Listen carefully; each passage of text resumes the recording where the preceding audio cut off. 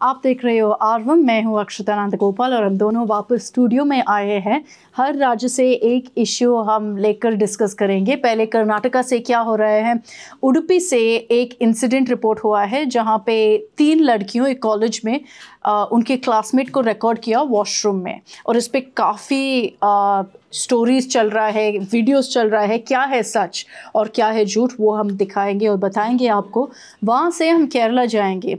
आ, एक न्यूज़ जो हम दोनों सोनलों में देख रहे थे कि राहुल गांधी केरला गए थे उनके ट्रीटमेंट के लिए मेडिकल ट्रीटमेंट के लिए। तो आयुर्वेदिक ट्रीटमेंट केरला में। जो सबसे फ़ेमस सेंटर है, उसके बारे में हम बताएँगे आपको कि क्या है उसके लेगेसी कहाँ पे मिलेगा आपको और क्यों वहाँ पे जाने चाहिए।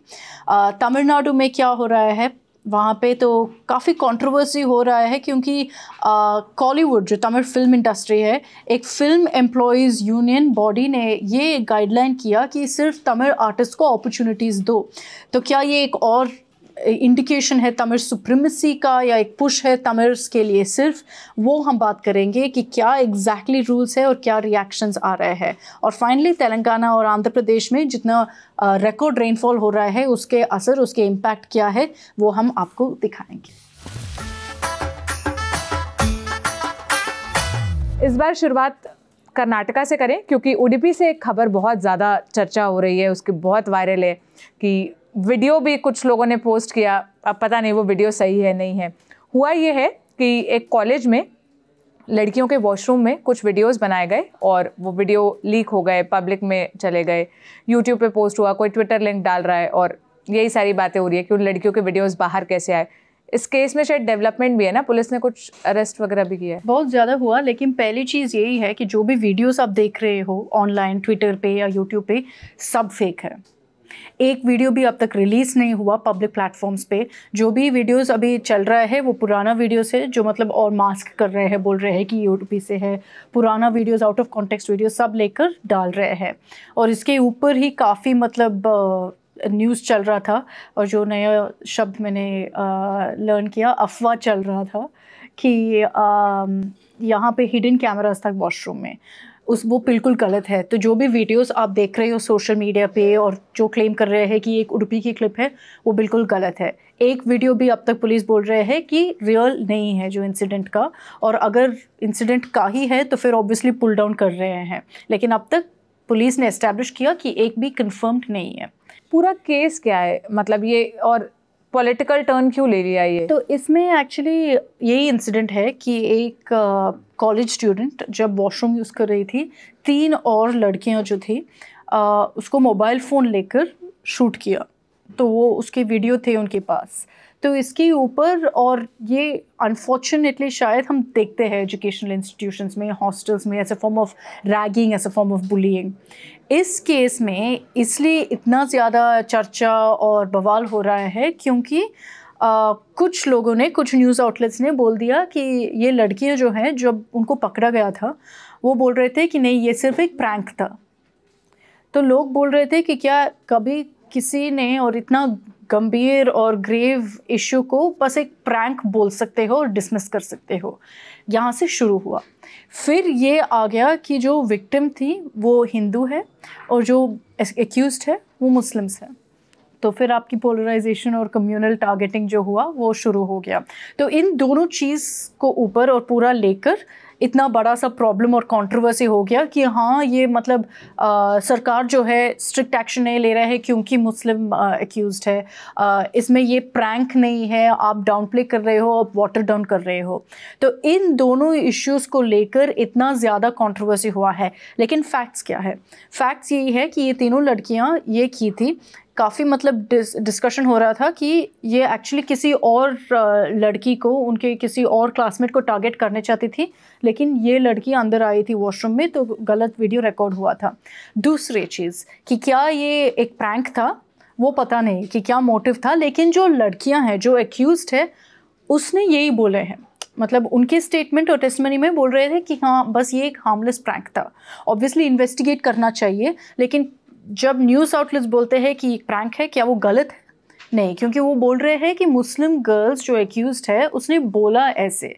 तो वो क्लियरली इस्टेब्लिश करना चाहिए। इसमें हिंदू मुस्लिम बहुत ज़्यादा हो रहा है। क्या उसका एंगल है कि क्या ये मुस्लिम लड़कियों इन, इस विक्टिम या इस लड़की को टारगेट किया इसलिए क्योंकि वो हिंदू है? वो अभी तक पुलिस ने साफ़ बोल दिया कि इसमें कुछ कम्युनल एंगल नहीं है। बाय चांस है कि दोनों डिफरेंट रिलीजन से हैं, लेकिन मुस्लिम हिंदू को टारगेट करके ये, वो, वैसा वाला कुछ नहीं है। और ये पुलिस साफ़ एस्टैब्लिश करती। इतना ज़्यादा कि जो भी मतलब ये पूरा स्प्रेड कर रहे हैं और जो भी वीडियो को शेयर कर रहे हैं, कुछ न्यूज़ आउटलेट्स भी कर रहे थे, उनके ऊपर केस बुक कर रहे हैं। तो ये है पूरा स्टोरी अभी भी इन्वेस्टिगेशन हो रहा है इसमें जाँच अभी भी हो रहा है लेकिन जो थ्री तीन लड़कियाँ हैं उनको गिरफ़्तार किया था लेकिन उनको एंटिसिपेटरी बेल भी मिला। आ, दूसरी चीज़ जो कॉलेज एडमिनिस्ट्रेशन है उनको भी बुक किया है नेशनल कमीशन फॉर वुमेन जो हम सब उसके बारे में चर्चा कर रहे हैं कि वो कुछ नहीं करते हैं एक्शन नहीं लेते हैं। इसमें फॉर अ चेंज बहुत प्रॉम्प्ट थे।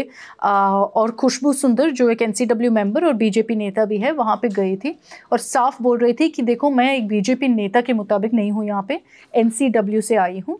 तो उसने वहाँ पे जाकर अभी इन्वेस्टिगेशन वो भी कर रही है, लेकिन उसने भी साफ़ साफ़ बोल दिया कि ये जो पूरा नैरेटिव है कि हिडन कैमरास थे वॉशरूम में, बोल रहे हैं कि ये एक एजुकेशनल इंस्टीट्यूशन है, ये बिल्कुल गलत है।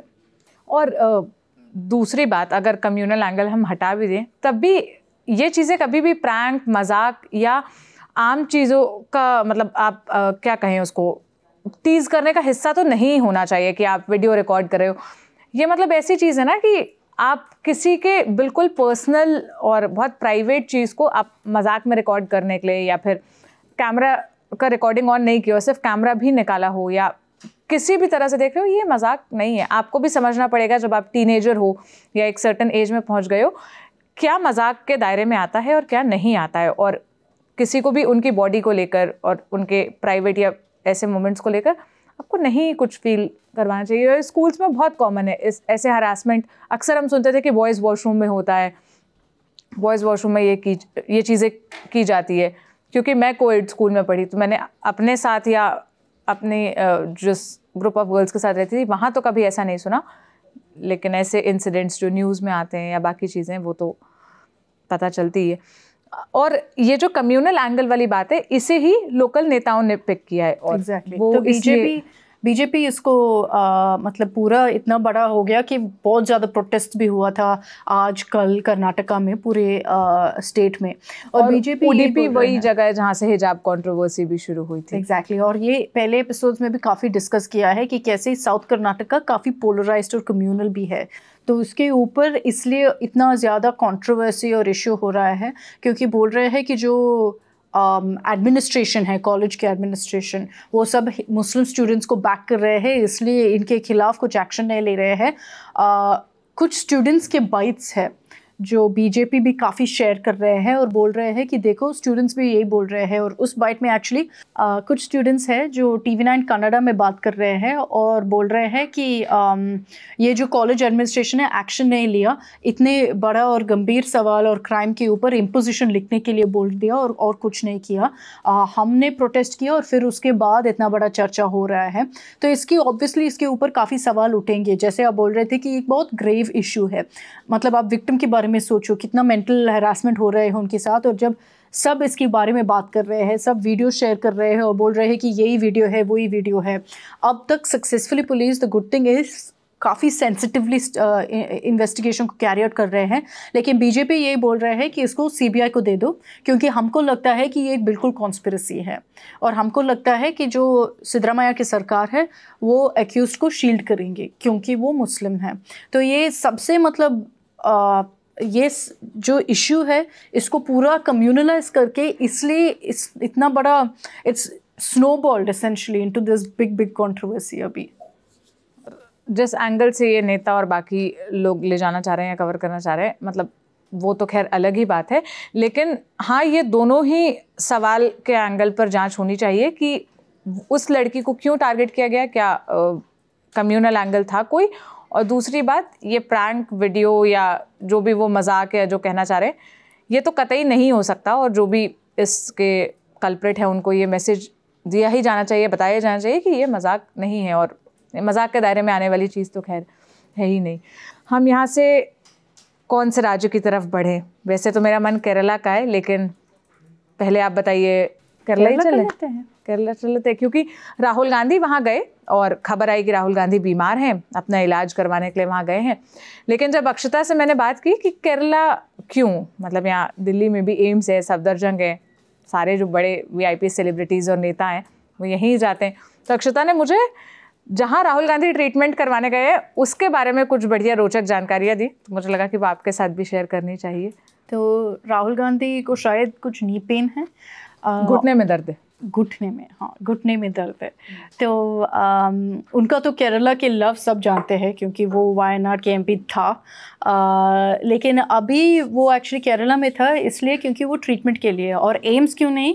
क्योंकि वो आयुर्वेदिक ट्रीटमेंट चूज़ किया। और हम सबको पता है कि केरला के आयुर्वेदिक ट्रीटमेंट कितना पॉपुलर है। अ, तो एक्चुअली जो सबसे फ़ेमस आयुर्वेदिक सेंटर है केरला में वो है आर्य वैद्यशाला। आर्य वैद्यशाला हाँ और ये एक्चुअली बेस्ड है कोटकल में कोटकल मल्लपुरम में है। तो ये बहुत फ़ेमस है। अगर आप साउथ में कहीं पे भी जाते हो आप अगर आप देखोगे मतलब एक लोकल शॉप्स जो भी है रिटेल आउटलेट तो हंड्रेड परसेंट देखोगे आर्य वैद्यशाला बोलकर। ये काफ़ी फ़ेमस हुआ है और जो बेस है ऑब्वियसली कोटकल में है जहाँ पे ये एलैबोरेट आयुर्वेदिक ट्रीटमेंट सब करते हैं। लेकिन बहुत फ़ेमस आयुर्वेदिक सेंटर है। इतना ज़्यादा कि I think they have about one thousand five hundred retail outlets पूरे जगह में, जहाँ पे वो आयुर्वेदिक मेडिसिन और दवाइयाँ जो बहुत पॉपुलर है, वैसे बेचते हैं। और जैसे आप बोल रहे थे, यहाँ का पतंजलि शायद, वैसे कंपेयर कर सकते हो, क्योंकि जैसे हमारे घर में मेरे ग्रैंड पेरेंट्स हमेशा आर्य वैद्यशाला जाते थे सिर्फ़ च्यवनप्राश लेने के लिए।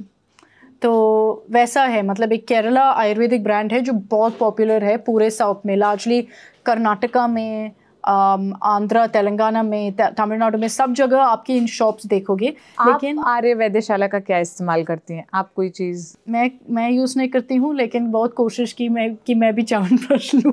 लेकिन मेरे को बिल्कुल अच्छा नहीं लगता है तो मैंने कभी नहीं खाई थी।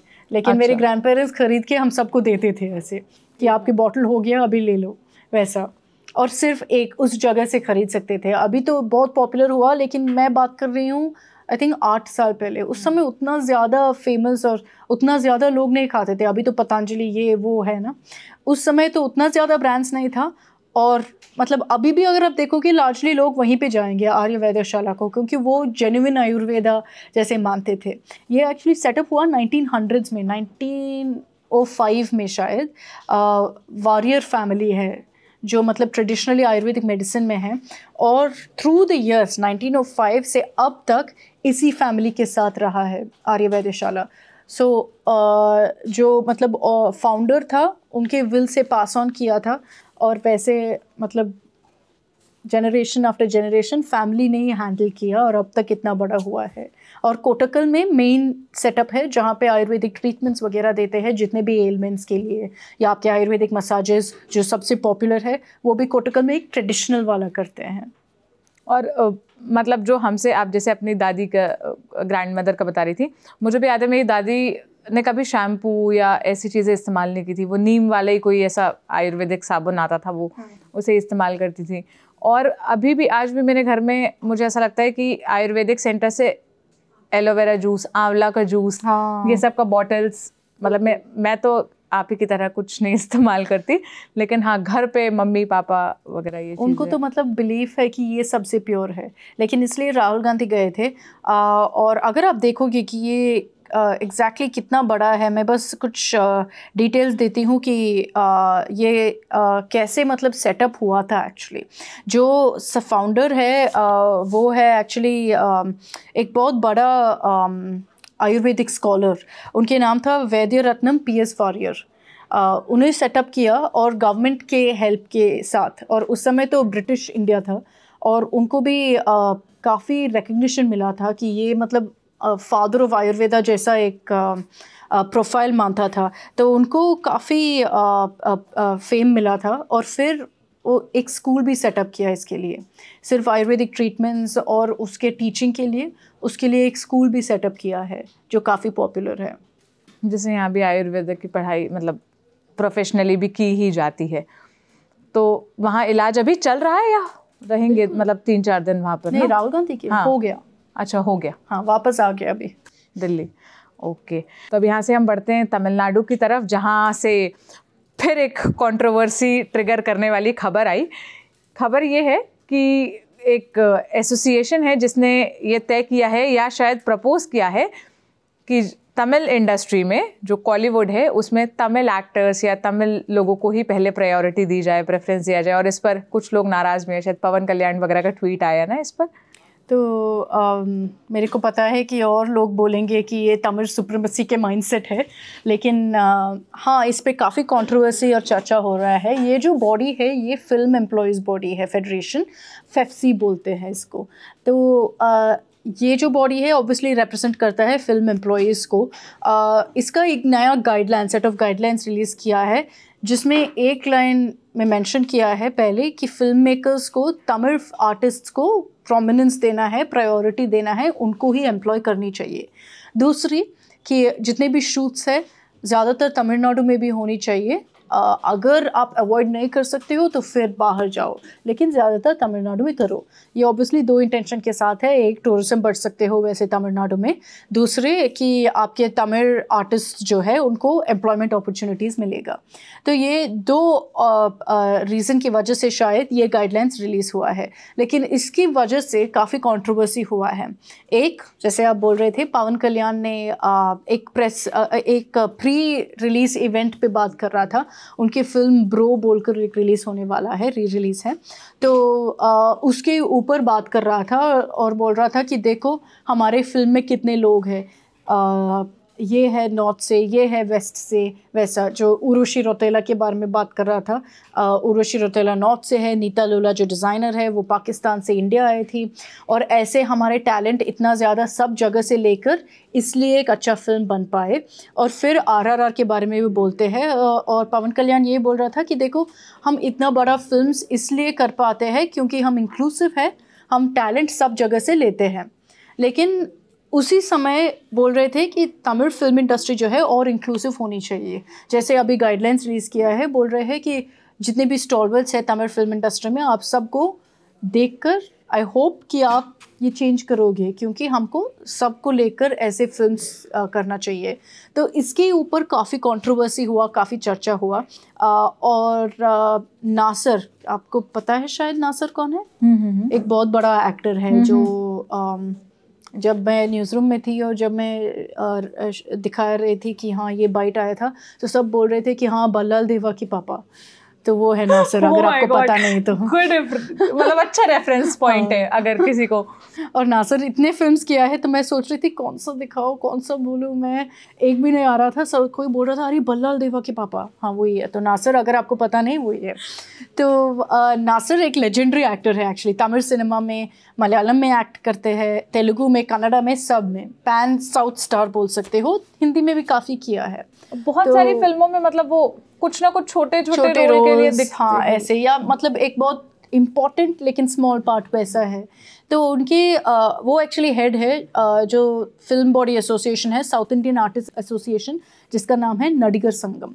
तो उसके हेड है और नासिर बोल रहे हैं कि ये बिल्कुल झूठ है कि ऐसा कुछ डायरेक्टिव नहीं है कि हम सिर्फ़ तमिल फ़िल्म आर्टिस्ट को हायर करेंगे और बोल रहे हैं कि अगर ऐसा कुछ है अगर ऐसा इसमें कुछ सच है तो मैं भी अपोज करूँगा।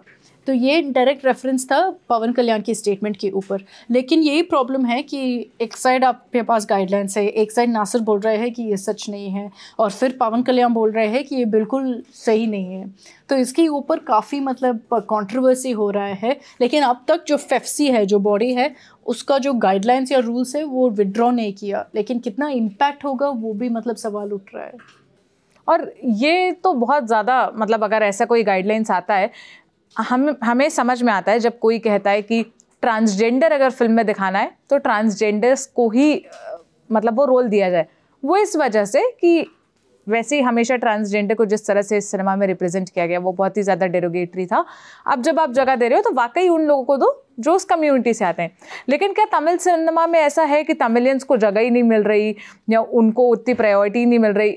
अगर ऐसी सिचुएशन नहीं है। और उसमें ये स्टेटमेंट आ रहा है तब तो ये दिखाता ना कि आप कितना तमिल सुप्रीमेसी या तमिल प्राइड को ही बस आगे नहीं मैं मानती हूँ देखो आ, और मैं काफ़ी इस शो पे डिफेंड कर चुकी हूँ कि जब तक मतलब ये लैंग्वेज का प्रॉब्लम है या कुछ भी है, मैंने एक्सप्लेन करने के लिए कोशिश की, लेकिन ये जो स्टेप है, मेरे को लगता है कि बिल्कुल गलत है, क्योंकि आपको, मेरे को भी, मैं भी मानती हूँ कि आपको इंक्लूसिव होनी चाहिए, कि अगर टैलेंट कहीं और पे है तो लेकर आ जाओ। जैसे विजय सेतुपति, अभी इतना बड़ा बॉलीवुड स्टार हुआ है कि आपके सबसे बड़ा फिल्म्स में विजय सेतुपति है, शाहरुख खान के जवान में नयन तारा है, विजय सेतुपति है एटली है डायरेक्टर अनिरुद्ध है म्यूज़िक डायरेक्टर तो आपकी ये जो साउथ और बॉलीवुड मिक्स है वो अच्छा है पैन इंडिया है। तो इसके बीच में अगर आप ऐसे एक रीजनल लेवल पर लड़ने लग गए हो अब तो हाँ और रीजनल क्या है वो लाइंस भी ब्लर हो रहे हैं जो अच्छा है क्योंकि जब पहले बोलते थे नेशनल सिनेमा बॉलीवुड है रीजनल सिनेमा ये सब है लैंग्वेजेस है तो वो भी चेंज हो रहा है वो लाइंस ब्लर हो रहे थे जो अच्छा है सब फ़िल्म इंडस्ट्रीज़ के लिए। लेकिन अभी ऐसे डायरेक्टिव के साथ दो चीज़ होता है एक आप आ, थोड़ा आइसोलेट कर रहे हो इस फ़िल्म इंडस्ट्री को, सब बाकी फ़िल्म इंडस्ट्री से। दूसरे कि आपके जो नॉन तमिल आर्टिस्ट जो है, जिसके लाइवलीहुड वहाँ पे तमिलनाडु पे सिर्फ़ कॉलीवुड पे डिपेंडेंट है, उनको क्या होगा? और बहुत ज़्यादा लोग ऐसे हैं जो मतलब वहाँ दूसरे जगह से वहाँ पे गए हैं। रिसेंटली अनुराग ठाकुर ने भी बात कर रहे थे और बोल रहे थे कि जितना innovation South industries film industries में है, जितना टेक्नोलॉजी यूज़ करते हैं, कहीं और नहीं यूज़ करते हैं। और वो इसलिए है क्योंकि हम इंडिया से पूरा टैलेंट लेकर वहाँ पे काम करते हैं। उनको जॉब्स को क्या होगा? तो ये सब मेरे को लगता है कि एक्चुअली एक नेगेटिव इम्पैक्ट होगा। और जितने भी लोग, अगर आपने कभी एक हिंदी एक तमिल फ़िल्म डब करके देख लिया होगा तो आपको पता है कि कितना वो तमिल रूट्स में मतलब टोटली इंग्रोस्ड है। वो हमेशा तमिल कल्चर को दिखाते हैं, तमिल लोगों का, उनके प्रॉब्लम्स उनके इश्यूज़ सब हाईलाइट करते हैं। तो मेरे को लगता है कि ये प्रॉब्लम नहीं है कि तमिल आर्टिस्ट को प्रोमिनेंस नहीं मिल रहा है। तो मतलब अगर ये होता है, जो अब तक मेरे को पता नहीं कि कितना ज़्यादा इम्प्लीमेंट होगा, ये थोड़ा सा नेगेटिव इम्पैक्ट हो सकता है कॉलीवुड पे मेरे को लगता है। आप लोग क्या सोचते हैं? आपकी क्या राय है? आप हमें कमेंट में बताइएगा, क्योंकि ये बड़ा ही डिबेटेबल इशू है। सबकी राय इस पर अलग अलग हो सकती है। और हम बढ़ते हैं आंध्रा और तेलंगाना की तरफ़, जहाँ पर वैसी ही बाढ़ आई है, जैसा कुछ आप नेशनल कैपिटल दिल्ली और यूपी और बाकी जगहों की तस्वीरें देख रहे हैं, लेकिन उस पर उतनी बात नहीं हो रही। वजह आपको भी पता है, हमें भी पता है, हम कितनी बार बता चुके हैं। तो गोदावरी नदी में पानी बढ़ गया है ना, उसका लेवल इंक्रीज हुआ आई थिंक हर जगह में, पूरे देश में अभी रिवर्स आर इन स्पेट जैसे हम बोलते हैं। लेकिन तेलंगाना में पहले तो जुलाई महीने जब शुरू हुआ, मेरे जितने भी रिलेटिव्स हैं हैदराबाद में, सब मेरे को मैसेज कर रहे थे, जब ये दिल्ली में इतना फ्लडिंग हो रहा था। उस समय मेरे को मैसेज कर रहे थे कि क्या सब ठीक है, यहाँ पे इतना गर्मी हो रहा है, कुछ बारिश कुछ नहीं हो रहा है। और ये आप मान सकते हो क्लाइमेट चेंज या ग्लोबल वार्मिंग है क्योंकि एक हफ़्ते में इतना ज़्यादा बारिश हुआ है तेलंगाना में कि कभी उतना ज़्यादा नहीं हुआ है पहले। आ, और काफ़ी डिस्ट्रिक्ट्स जिसमें बहुत ख़राब सा हालत है वो है मुलुगु है हनुमाकोंडा वारंगल ये सब जगह में काफ़ी मतलब आ, आ, काफ़ी डायर सिचुएशन है क्योंकि इतना ज़्यादा रिकॉर्ड रेनफॉल हुआ है कि आप कुछ नहीं कर सकते एडमिनिस्ट्रेशन भी कुछ कर सकते हैं, लेकिन इतना बारिश हो रहा है तो क्या करेंगे? तो इतना फ्लडिंग हो रहा है वाटर लॉगिंग हो रहा है, काफ़ी जगह जो है पूरा कट ऑफ़ हुआ है। तो एनडीआरएफ टीम्स वहाँ पर है, अभी रेस्क्यू ऑपरेशन हो रहा है। अभी कुछ एक दिन के लिए आई थिंक बारिश नहीं हुआ है सो फिंगर्स क्रॉस्ड अभी कि इसके बाद कुछ समय के लिए बारिश नहीं है लेकिन अभी भी मेट डिपार्टमेंट रेड अलर्ट रख लिया है कुछ जगह के लिए और ये खबर हमने इसलिए डिस्कस की है इसलिए चुनी कि ताकि आपको ये भी पता चले कि देश के दूसरे हिस्से में क्या हो रहा है क्योंकि सभी का सारे कैमरा का सारे मीडिया का फोकस यहीं जो उनके लिए इजीली एक्सेसिबल एरियाज़ होते हैं वहीं पर होता है और ज़्यादा कोई बात नहीं करता और तेलंगाना से जो वीडियोस या जो तस्वीरें मैंने हाँ। देखी वो तो उतनी ही डरावनी है जितनी हिमाचल से आई हुई। बिल्कुल अगर आप देखोगे एक है जहाँ पे मतलब आपके पूरे डैम ऑलमोस्ट बर्स्ट हुआ है। आ, दूसरा है एक बहुत बड़ा सांप जो निकला है एक घर के बाहर से। आ, एक वेल बीच हुआ है आंध्रा में क्योंकि और वो बेबी वेल थी ना मतलब। But it's the blue whale ना बहुत हाँ, बड़ा वाला हाँ. सबसे biggest whale but it's a young one तो वो बीच था आ, मर गया। आ, तो काफ़ी मतलब वीडियोस आ रहे हैं मतलब व्हीकल्स जो है पूरा ड्राउन करके वहाँ पे रेस्क्यू ऑपरेशंस भी चल रहे हैं क्योंकि लोगों को मतलब बाहर आने के लिए मुश्किल दिक्कत हो रहा है। तो काफ़ी गंभीर हालात है वहाँ पे। अक्षता ने गंभीर और स्टार्टिंग में अफवाह। ऐसे ऐसे शब्द बोलिए लग रहा है कि आज अक्षता ही सारी ऐसी हाँ हिंदी न्यूज़ कवर करके आई हैं। तो हम उम्मीद करते हैं कि जल्द राहत मिले और आपको भी ऐसे ही हम वहाँ के अपडेट्स इसी तरह देते रहें जो शायद आपको mainstream media so call mainstream media में नहीं मिले। हम पिछले एपिसोड पर आए हुए कुछ कमेंट्स ले लें और उनका जवाब दे दें क्योंकि खूब सारे सवाल भी थे और कई लोगों ने ये भी कहा कि आप लोग तो बढ़िया खा रहे हैं और हमें ऐसे जला रहे हैं। पहला कमेंट जो मुझे दिखा वो वंदना अग्रवाल का है। उन्होंने लिखा कि interesting programme an important point that was missed while talking of invasion trade relation is that it is believed the method of steaming fermented idlis were originally bought in Southeast Asia, where there were Hindu kingdoms and India had trade relations with the region. बिल्कुल जितना भी आप अगर Malaysia Indonesia के बारे में बात करते हैं तो हमेशा बोलते हैं कि इतना हिंदू टेम्पल्स कैसे हैं चोलास वहाँ पे गए थे ये सब चोला ऑक्यूपाइड था तो और ये जो इडली अभी हम जैसे खाते हैं जो स्टीम होती है और रात भर उसको उनकी इन्फ्लुएंस हो सकता है क्योंकि जो प्रोफेसर महालक्ष्मी भी बोल रही थी कि इडली को उतना ज़्यादा रेफरेंस नहीं था। थोड़ा सा देख लिया वहाँ यहाँ वहाँ पे लेकिन वो और इन्फ्लुएंस हो सकता है ट्रेड से। तो वो पॉसिबल वेरी मच है। तो ये एक्चुअली एक इंपॉर्टेंट पॉइंट है। आपने ये पॉइंट हमें नोटिस करवाया? हमने कर लिया नोट तो ये एक है eating white rice is latest the hills. Hills were self-sufficient when they used to consume millet and maize. Project manager six four two three ने बोला था फाइव अच्छा तो उनके कमेंट मिलिट और मेज़ के ऊपर मेरे को इंटरेस्टिंग लगा क्योंकि अभी इतना ज़्यादा फोकस है मिलट्स के ऊपर। जब भी मैं बाहर जाती हूँ मेरे को लगता है कि कुछ ना कुछ इवेंट या फोरम है जहाँ पे मिलट्स पे फोकस कर रहा है जो बहुत अच्छा है क्योंकि हमारे हेल्थ के लिए शायद राइस से ऊपर यही अच्छा है। तो एक इंपॉर्टेंट कॉमेंट ये भी है। और आ, मैंने ये भी देखा जब कर्नाटका गई थी मैं वहाँ पर रागी मुद्दे मील जो हाँ। है। वो मिलेट का। लेकिन अभी हमारी एक डॉक्यूमेंट्री भी रिलीज़ हुई है। आप देख सकते हैं यूट्यूब पे पेपासा जब हम वो शूट करने गए थे तो वहाँ हमने बाजरे की रोटियाँ खाई थी। वहाँ चावल है ही नहीं। चावल का कंसेप्ट ही नहीं है वहाँ पर। जो पाकिस्तान बॉर्डर से आठ दस किलोमीटर दूर वो वहाँ के गाँव पड़ते और वो गाँव में मतलब वो लोग नॉर्मली चावल खाते ही नहीं है। बाजरे वैसे तो मतलब अगर आप साउथ देखोगे काफ़ी राइस के इम्पोर्टेंस और प्रोमिनेंस देते हैं। जैसे specially in places like Tamil Nadu आप देखोगे कि काफ़ी चावल खाते हैं लेकिन ऐसा बासमती राइस या जैसा नहीं एक्चुअली आई थिंक लोकली जो प्रोड्यूस्ड राइस है उस पर भी फोकस है। और बहुत मोटे होते हैं ना वहाँ exactly. के चावल हाँ एक। एक वर्जन है जो बहुत मोटे है जो रेड राइस जैसा भी है जो काफ़ी मतलब कुक करना चाहिए। लेकिन हाँ चावल डिफरेंट वेराइटीज़ है वहाँ पे लोकली प्रोड्यूस इंटरेस्ट लेकिन उस पर फोकस देते हैं काफ़ी। एक सुझाव आया है आ, ये पलाश मिश्रा का है। Mahalakshmi ma'am must be a very good teacher.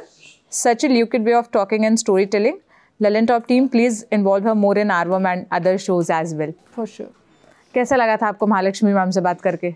बहुत अच्छा ऐसे लगा। कोई तो अपना तो मिल गया टाइप का फील हाँ। हम तो तेलुगु में बात कर रहे थे पूरे समय लेकिन काफ़ी समय मैंने वेस्ट किया मैंने शो जब देखी थी कि मैं पूरा बस खा रही थी। एक कमेंट है जो पूछ रहे हैं कि आ, क्या हमने पूरा खाना वेस्ट किया?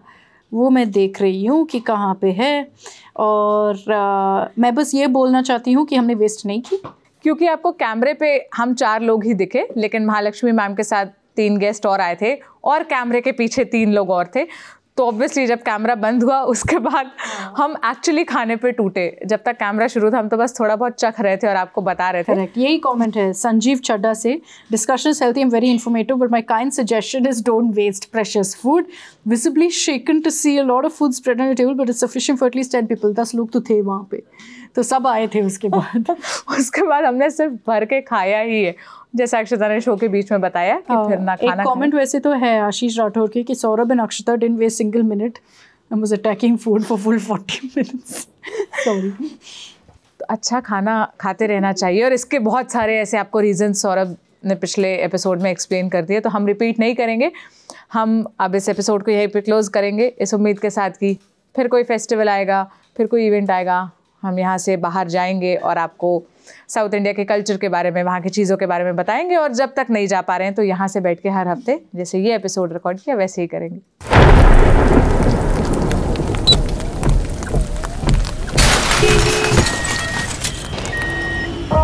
Parts of India, including the capital New Delhi, are seeing extensive flooding from heavy rains. Floods in northern India are threatening lives and livelihoods. About 100 people have died after record monsoon rains in India this week.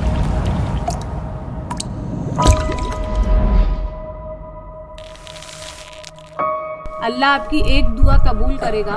क्या दुआ मांगोगे? अल्लाह करे पाने थे एक सुख दो मुझे।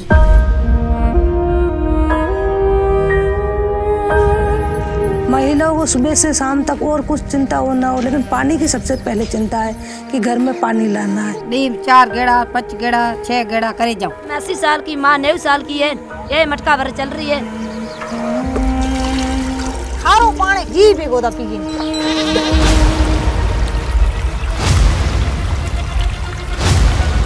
नीचे फ्रैकिंग हो रही है। बड़े हाई लेवल के केमिकल्स डालते दांत एकदम ब्राउन हुए हैं लोगों को उस पानी की वजह से।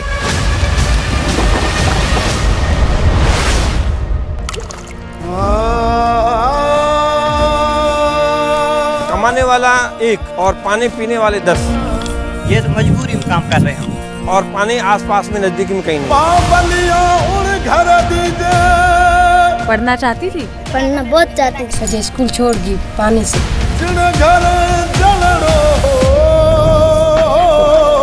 ये सब जो बाहर उठाने से तो इसका बच्चा गिर गया। इसके बाप ने इसको सिखाया क्या? क्या पानी नहीं डाल सकते?